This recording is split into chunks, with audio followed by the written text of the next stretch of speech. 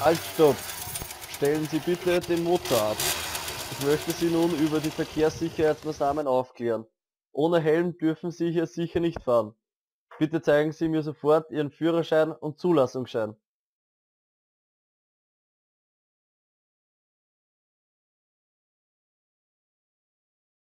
Ich werde mir das Moped jetzt ein wenig genauer unter die Lupe nehmen.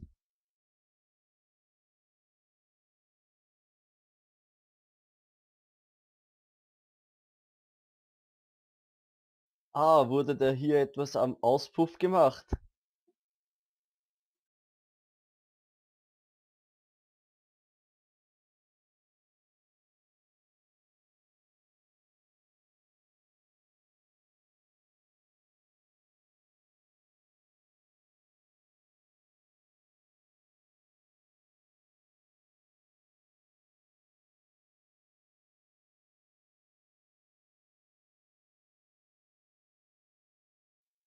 Sie bekommen nun einen Strafzettel wegen Fahrens ohne Helm.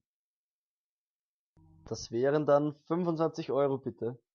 McDonalds-Gutscheine wären auch erwünscht.